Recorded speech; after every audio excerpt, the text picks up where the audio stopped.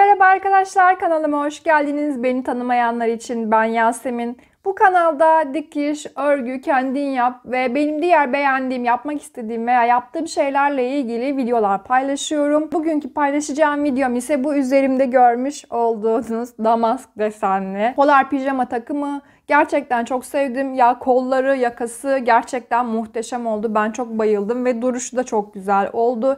Eminim siz de seveceksiniz ve çok kolay, hiç kalıp gerektirmiyor. Sadece kendi pijamanızı koyup üstüne bir kalıp çıkaracaksınız ve onu sadece düz dikişle dikeceksiniz. Hepsi bundan ibaret. O zaman hemen pijamamızın yapılışına geçelim. Polarımı böyle 4 kat serdim. Önünü arkasını tek seferde keseceğim. Daha sonra önündeki rötuşları yapacağım. Pijamamın üstünü bu şekilde ikiye katladım. Aynı eteğini de böyle yapacağım. Yani bildiğiniz tıpatıp aynısının kopyasını çekmiş gibi oldum. Ama bu Polar'ın pijamanın modelini gerçekten seviyorum. Kenarlarından ve eteğinden dikiş payı bırakarak çiziyorum böyle. Bu reglan kol ama benim kumaşım buna yetmeyeceği için ben normal kol yapacağım.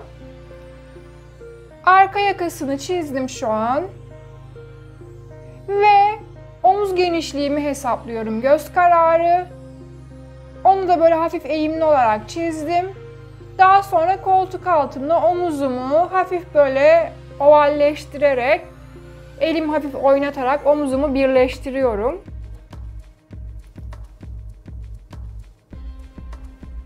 Ve çizdiğim yerlerden dikiş payı bırakmadan kesiyorum. Zaten bırakmıştım öncesinden.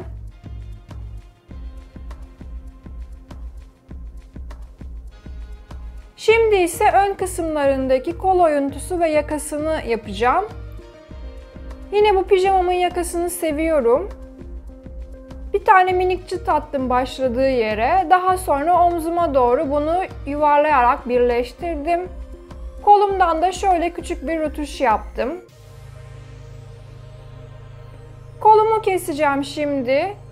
4 kat e, yerleştirdim polarımı. Yine dikiş payı bırakarak kesiyorum, çiziyorum.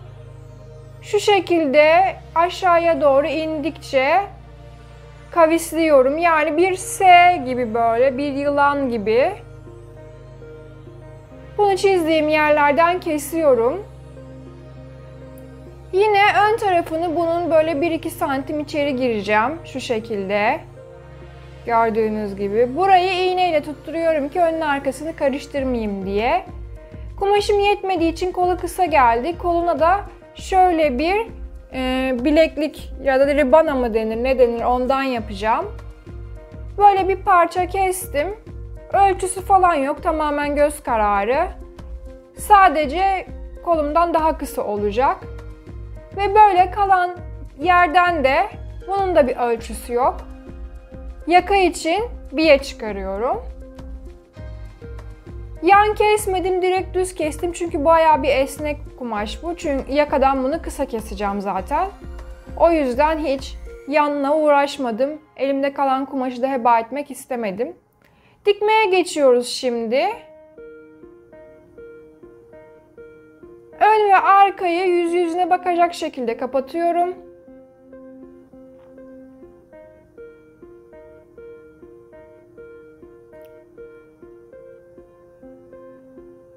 Ve omuzlarını iğneliyorum.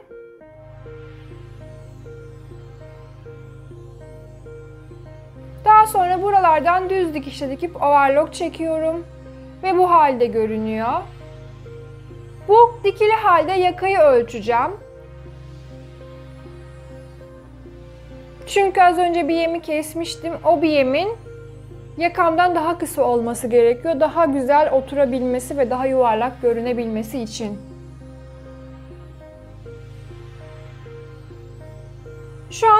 57 santim geldi ve ben bunu 57 yaklaşık 55 santim yaptım.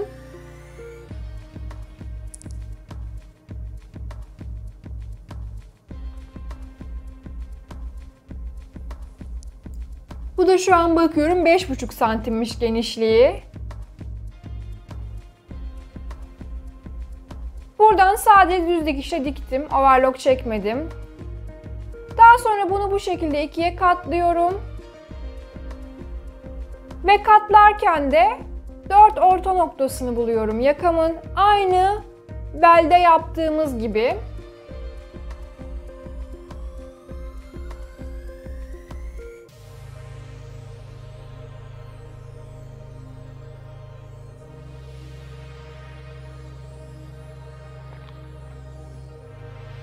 Yakanın da dört orta noktasını buluyorum. Dikkat etmeniz gereken şey omuz dikişleri orta nokta değildir. Bakın şu an görüyorsunuz yaklaşık orta noktası 1-2 santim daha ileride omuz dikişinden. O yüzden üşenmeyin. Oradaki orta noktaları bulun. Daha sonra bu bulduğum orta noktaları eşleştiriyorum. Biyemi Pijamamın üst tarafının içinden yerleştiriyorum. Yani düz tarafından yerleştiriyorum. Ki kumaşı pardon ki dikişi içte kalsın diye. Yani demek istediğim zaten şu an anlatamamış olabilirim ama gayet net görünüyor. İçinden yüzünden yerleştiriyorum biyeyi.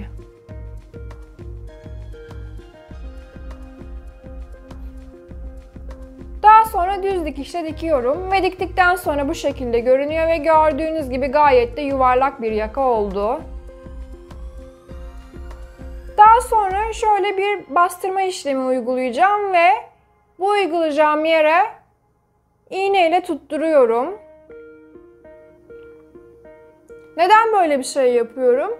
Yakası ters dönmesin diye. Ben genelde yakalarda bu işlemi yapıyorum içine doğru bükülmesin diye.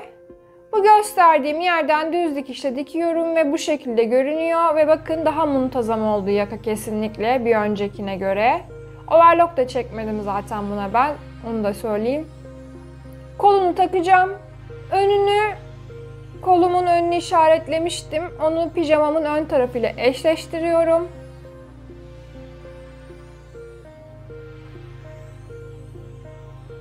Kolun orta noktasını buluyorum. Uçlara doğru iğnelemeye devam ediyorum.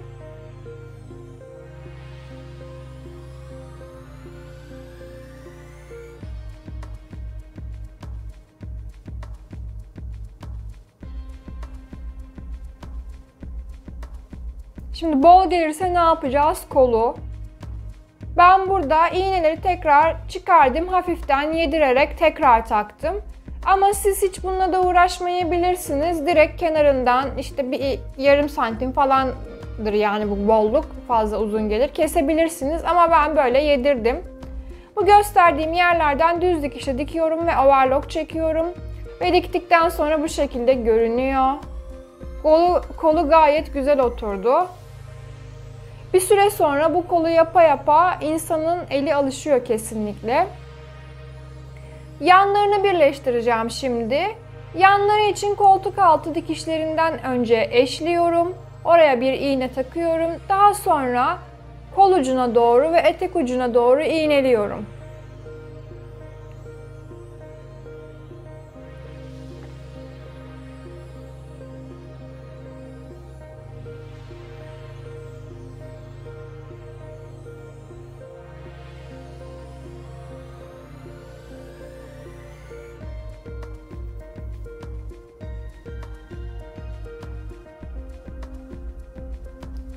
Ve bu gösterdiğim yerlerden düz dikişle dikip overlockla çekiyorum. Overlock çekiyorum ve son hali bu şekilde. Çok heyecanlıyım yalnız bunu dikerken anlatamam size. Eteğini dikeceğim. Eteğini de şöyle yaklaşık 1,5 santim kadar içeri katlıyorum. Belki 2 santim.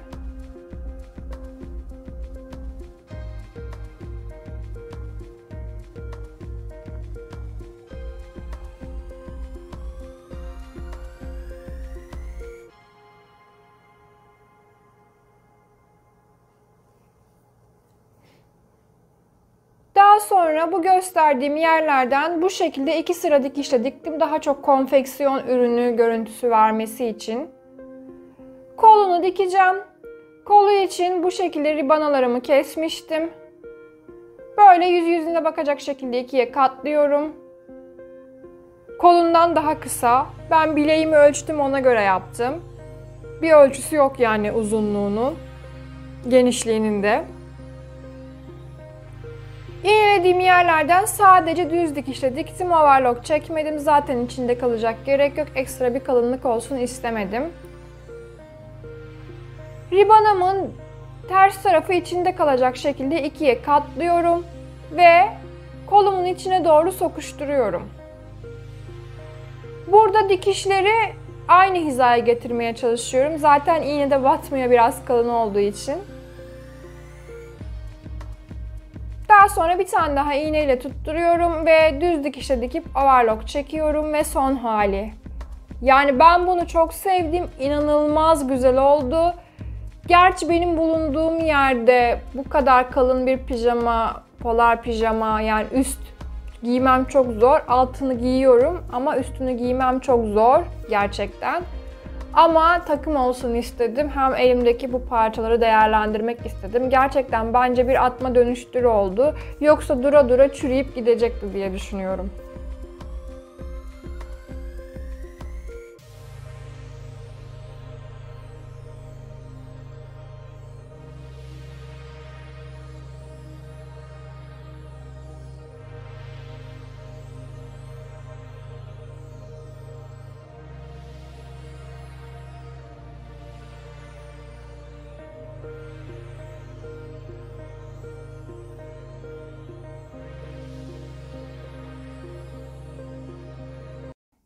Pijamanın yapımı gerçekten basit. Pijamayı dikmeden önce internette polar pijama takımı yazdığımda alternatifleri şöyle iyi bir markaysa zaten minimum 100 lira ve 100 liranın üstünde. En kötüsü 50-60 lira civarında. Ama ben sadece 20 TL'ye yaptım ve bunu parça kumaştan alırsanız eğer zaten 7-8 liraya bu e, pijama takımını mal edebilirsiniz. Ve böylelikle videonun sonuna gelmiş olduk. Bir sonraki videoda görüşmek üzere. Kendinize çok iyi bakın diyorum ve eğer hala kanalıma abone değilseniz abone olmayı, Instagram'dan beni takip etmeyi, videolarımı beğenmeyi, paylaşmayı unutmayın. Bir sonraki videoda görüşmek üzere. Kendinize çok iyi bakın. Hoşçakalın.